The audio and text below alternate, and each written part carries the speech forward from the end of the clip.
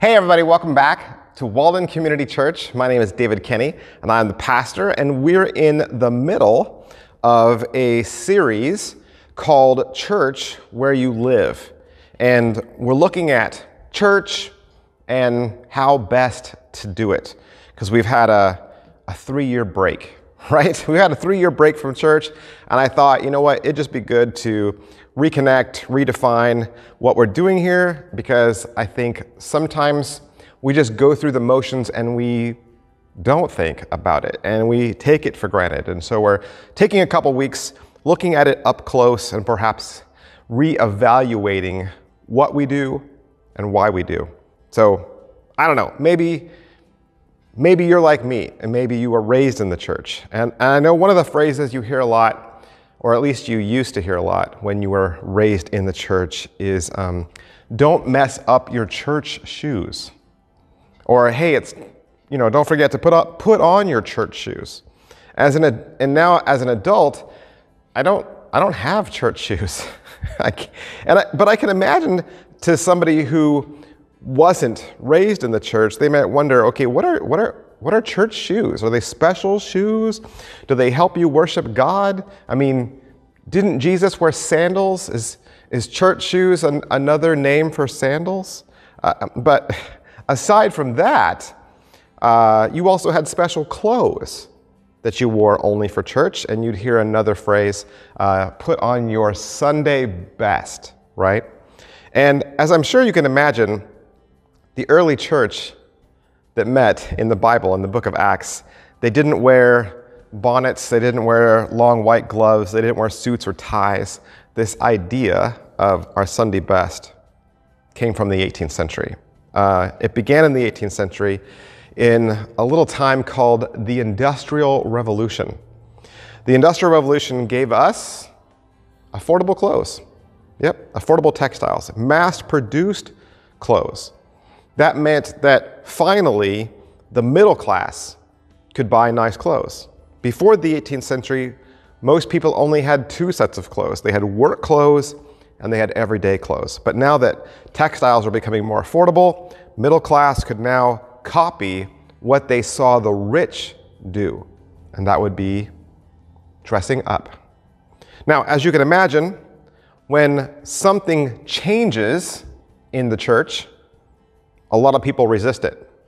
And at first, famous preacher John Wesley, he tried to deter people from dressing up to church, and he insisted that the only requirement for church attendance was that you were clean, which is where the phrase cleanliness is next to godliness came from. If you showed up in your Sunday best at a Methodist church, they would actually turn you away.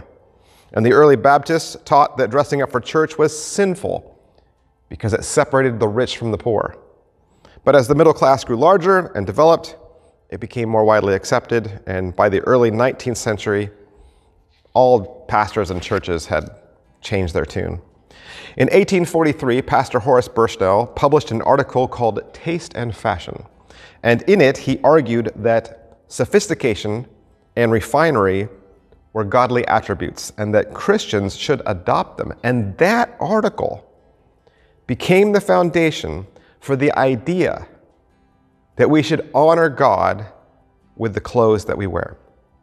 In 1846, a pastor from Virginia named William Henry Foote wrote that a church going to a church going people are a dress loving people. And now today, many people across America we suit up for church and we don't even question it. So, in case you've ever wondered, uh, church shoes, that phrase, is not in the Bible. it has nothing to do with Jesus, unless, of course, your mother ever caught you uh, playing outside in your church shoes, in which case she'd probably make sure that you met Jesus a little sooner than, you, than you'd hoped. Well, the good news is that today we're not going to talk about fashion. Last week we talked a little bit about church growth, and we said that growth is something that God wants, right? But it's not the reason that we have church. Growth is a sign of health, it's a byproduct of love, but growth should never be the purpose of the church. Once growth becomes the purpose, then we just grow for the sake of numbers. And then people become statistics. And then church becomes business. Sadly, the church in America is growing very slowly. Right now, studies show that only 20% of our nation's churches are growing, and only 5% of growth is from new Christians, which means the rest of that growth is just Christians bouncing from one church to another. And I'll tell you what, uh, why I think that is, and, and that's because nobody looks for a friendly church. Instead, they come to church to look for friends. When people move away and they say, Oh, I miss my old church, what they really mean is they miss their friends. Because after all, why would you come to church? I mean, really, what do we, what do we have to offer? Can't the world satisfy every longing? Can't the world satisfy all your desires? What is a, what does a person out there possibly need church for? Entertainment? Socializing? Education?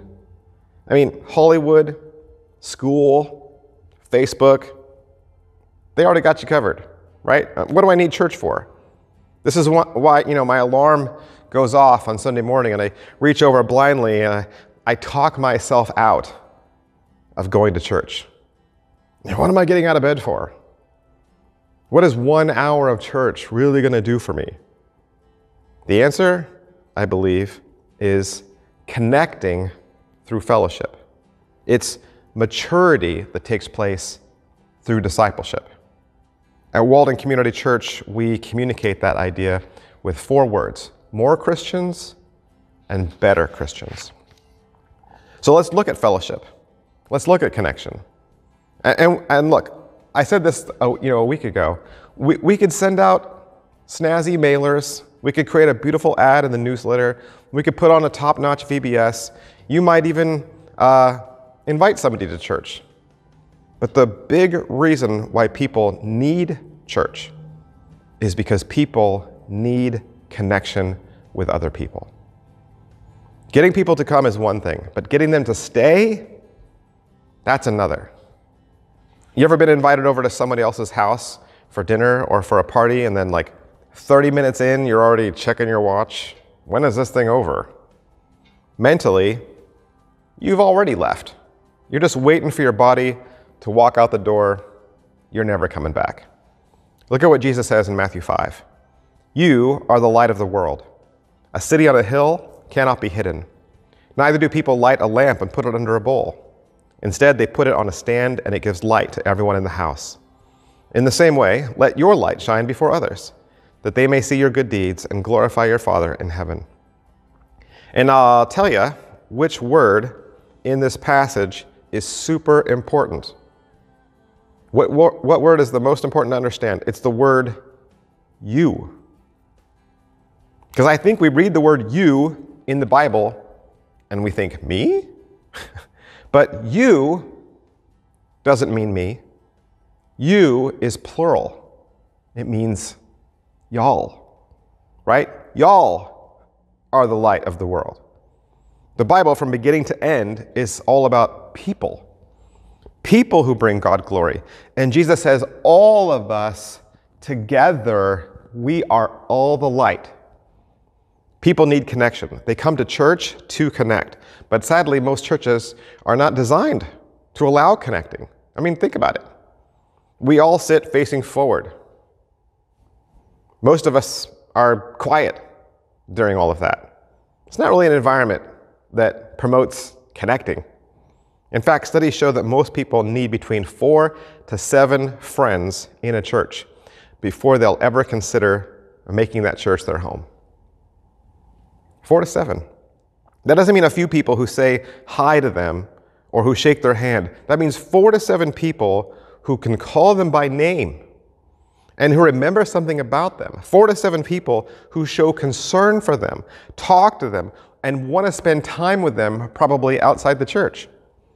This is why other things that the church offers, like small groups, Sunday school, social gatherings, potlucks, weekend classes. That's why they're so important to attend. Last time we read 1 John 4, no one has ever seen God, but if we love one another, God lives in us, and his love is made complete in us. The Bible says nobody has seen God, but if we, right, collectively, us, it's that word y'all again, if we get together and we love each other, then we become a physical representation of God on earth. So when we say the church exists for more Christians, it typically means through evangelism. But what happens is many people commit to Christ, but they don't end up committing to a church body. So the task of the church is to bring people to Christ, but at the same time, we need to adopt them as family. People need connection, people need community. People need community. 1 Corinthians 3 says, Don't you know that you yourselves are God's temple, and that God's Spirit dwells in your midst? If anyone destroys God's temple, God will destroy that person. For God's temple is sacred, and you, together, are that temple.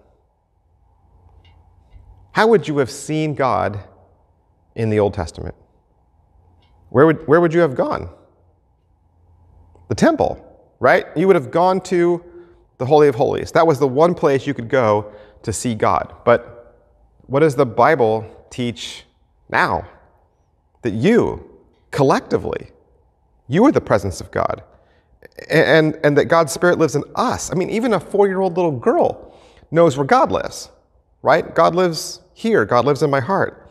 So if people today want to see God, then they need to walk in and see a church who loves each other and who loves them. That's why connection time and fellowship time are so important in this church. Because we should all be greeters, we should all be welcomers, we should all be smilers, we should all be shaking handers and helpers and prayers every Sunday. Because if a visitor or a seeker or a member or anyone who comes through that door doesn't see God, then we are not being his body. We are not being his light on a hill. People need community because we worship a God who lives in community, right? And we were created in his image. Galatians 3 says, So in Christ Jesus, you are all children of God through faith. For all of you who are baptized into Christ have clothed yourself collectively with Christ. There is neither Jew nor Gentile, nor slave nor free. There is neither male nor female, for you are all one in Christ Jesus. If you belong to Christ, then you are Abraham's seed and heirs according to the promise. When people on the outside want to know what it means to be a holy priesthood, when people look at the definition of what it means to be a Christian, they should be able to point to a church and say, that's what it looks like. Look at 1 Peter 2. You are a chosen people, a royal priesthood, a holy nation, God's special possession, that you may declare the praises of him who called you out of darkness into his wonderful light. Once you were not a people, but now you are the people of God. Once you had not received mercy, but now you have received mercy. Look at the privilege that God says that you have. Once you were not even a people, and now we are the people of God. By yourself, you were nothing. But now you're a chosen nation. Together, you're a royal priesthood. To, nobody is a nation all by themselves. The church is not made up of lone rangers. God wants a people, He wants a group, He wants a nation. We are part of something so much bigger than ourselves. Israel was a nation, it wasn't one person. That was, that was God's plan, right? Listen to what Moses writes about a nation that obeys God. This is a nation that listens to God. Deuteronomy 4 I have taught you decrees and laws as the Lord my God commanded me, so that you may follow them in the land you are entering to take possession of it. Observe them carefully, for this will show your wisdom and understanding to the nations. Who will hear about all these decrees and say, Surely this great nation is a wise and understanding people? What other nation is so great? as to have their gods near them the way the Lord our God is near us whenever we pray to him. And what other nation is so great as to have righteous decrees and laws as the body of laws I am setting before you today? Why did God establish Israel as a holy nation? God wanted people to see Israel and then to look at them as an example of God's extravagant love, as an example of his blessings. And a Hebrew in Moses' tribe would never have thought, well, I'm going to go out and I'm going to, I'm going to do this all by myself. I'm going to go this alone. I'm going to do it solo. And there was no Hebrew in that nation that ever thought that somehow that nation owed them something. And in the New Testament church, that understanding was still there. I mean, last week we read a passage that described the early church. We could look at that again for, the, for a moment. Acts 2.44 says, All the believers were together and had everything in common. They sold property and possessions to give to anyone who had need. So, whatever that looks like, whatever that sounds like, it is, at its heart, a body of people who sees the needs of the community. And, so then the hard part for the church is this shift in mindset to move away from how can the church meet my needs to how can I meet the needs of others? Matthew 16, Jesus says, Whoever wants to be my disciple must deny themselves and take up their cross and follow me. So if you don't believe me, then believe Jesus. Jesus says discipleship is about self denial. Jesus took his cross up for others. He did it for you. And so we, in turn, we take our cross up for someone else. One pastor says it like this Building community means learning to appreciate the discomfort of being with people who aren't like us. It means learning personal sacrifice. It means setting aside time in our already crammed schedules to waste our time with other people who will cramp our styles and who don't care about our personal agendas.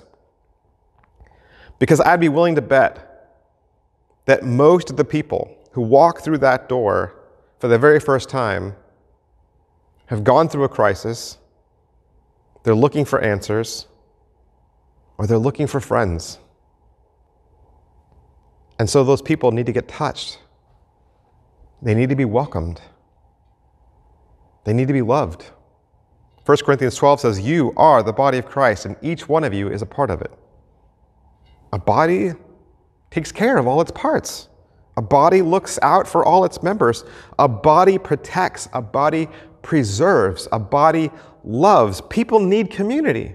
And, and so to meet those needs, then, then we need to be committed. People need commitment.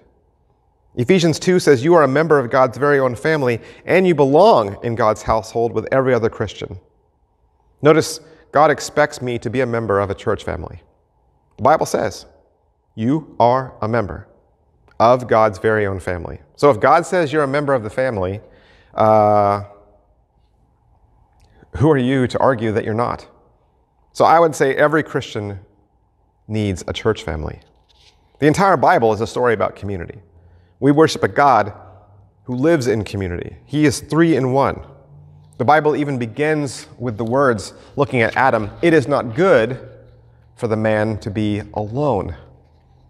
And there's like 30 commands in the Bible that you can't even obey unless you're part of a local church.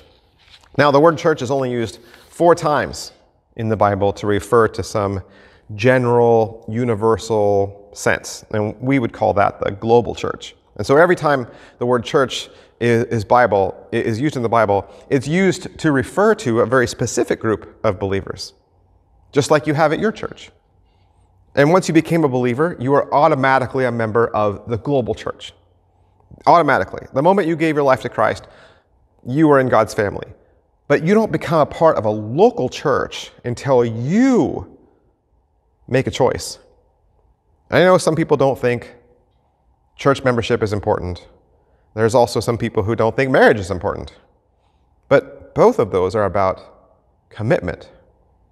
The reason why churches place a high value on membership is because membership commits me to other committed people.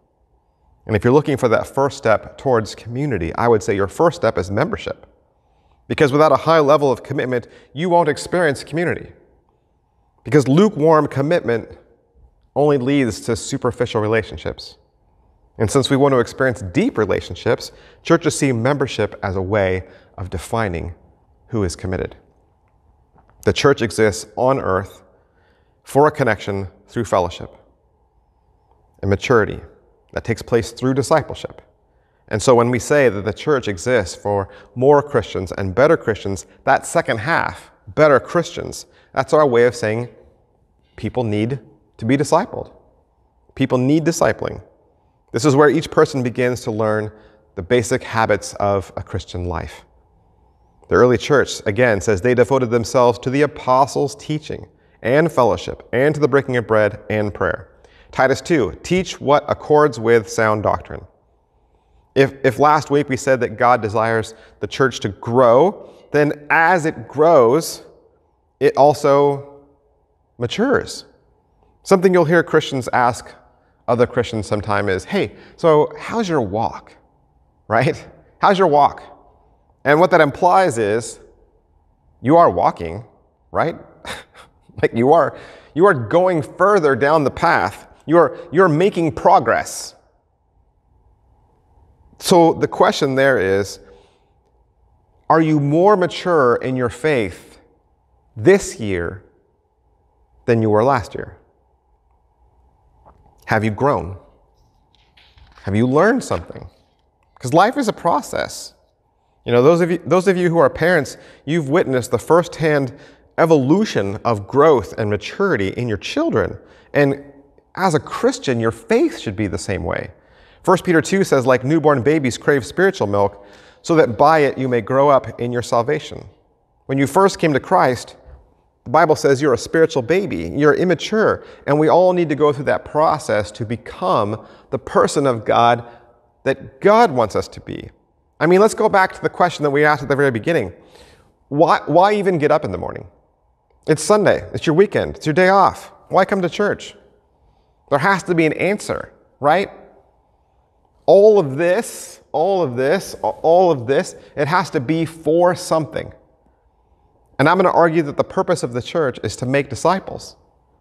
And I'll tell you how I came to that conclusion. Let me read you a, a page out of the Bible. This is the last page in the Bible. This is John. He's describing heaven. He says, No longer will there be anything accursed, but the throne of God and the Lamb will be in it, in it, and his servants will worship him. They will see his face, and his name will be on their foreheads, and night will be no more. They will need no light of lamp or sun, for the Lord God will be their light, and they will reign forever and ever.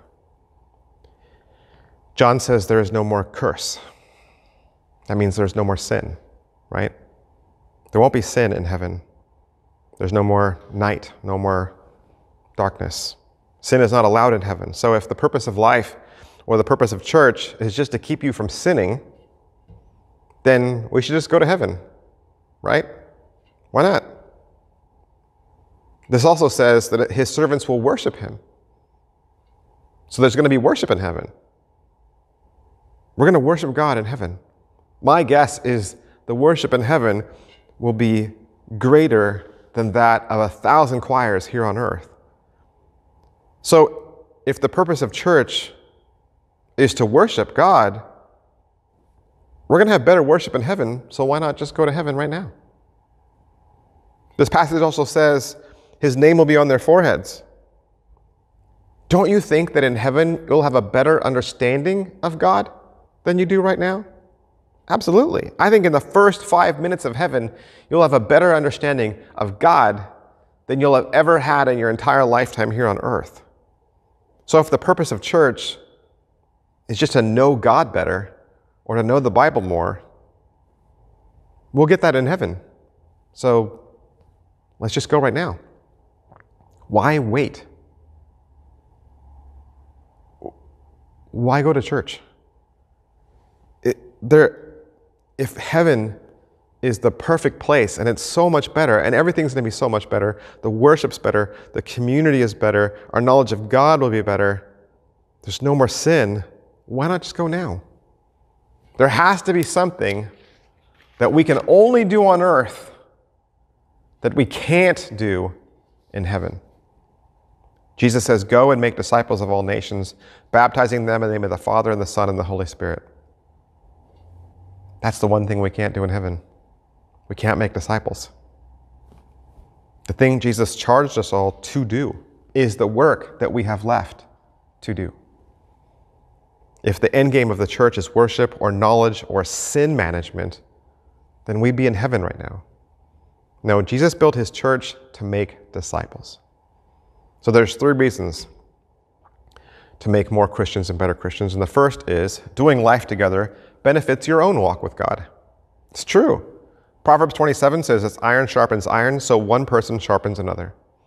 The goal of every church is not just to make more Christians, but also better Christians, to free each person more and more from sin, and to make us more and more like Jesus. It's a process, it's a journey, like I said, how's your walk?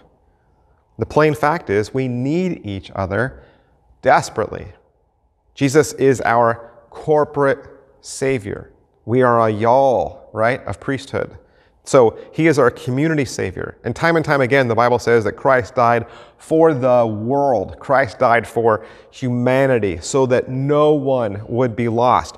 The writer of Ecclesiastes say, though one may be overpowered, two can defend themselves, and a cord of three strands is not quickly broken. And the best way to grow in your faith is to come alongside another and be strengthened. Second, doing life together benefits your neighbor. You know, one of the excuses I hear a lot about people not coming to church or not being involved is, you know, I don't need it. I don't feel like it. Again, the idea of church becomes personal.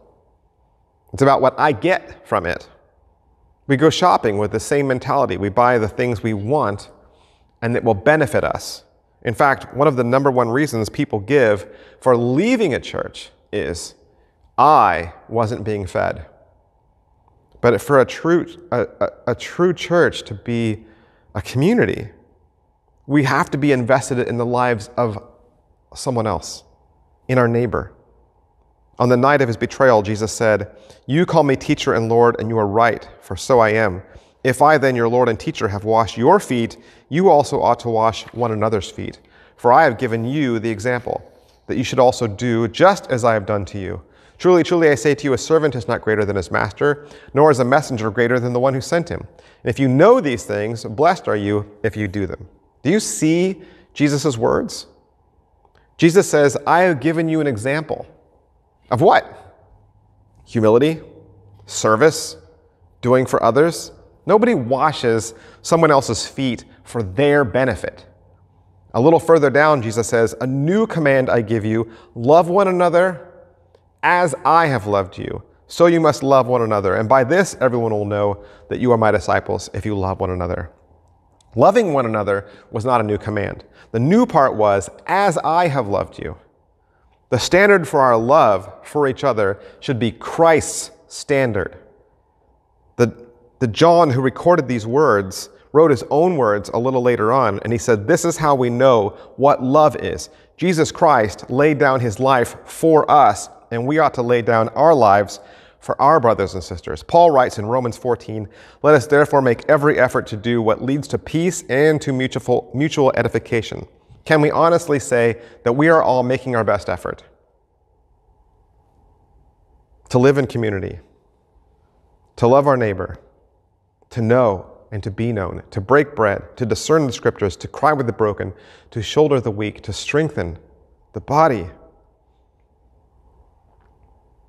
Doing life together benefits the work of the Holy Spirit. 1 Corinthians 12 says, For we were all baptized by one Spirit so as to form one body. Whether Jews or Gentiles, slave or free, we are all given the one Spirit to drink. Again, this idea.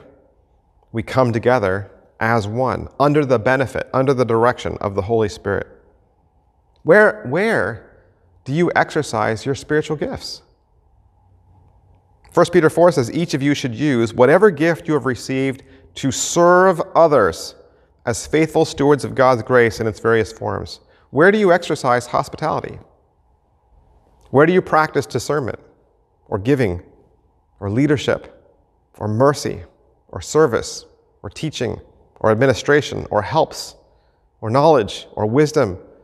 evangelism, martyrdom, missionary, shepherding, faith, healing?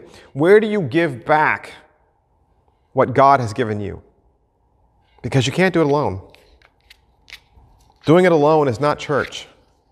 Rather, a church is made up of people who admit that they can't do it alone. God does his greatest work through the network, the body. I'm sure you want your church to grow, no matter what size it is. I want our church to grow. I do.